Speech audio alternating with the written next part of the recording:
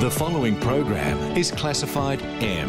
The WIN Network recommends viewing by mature audiences. It contains some violence. It contains some violence.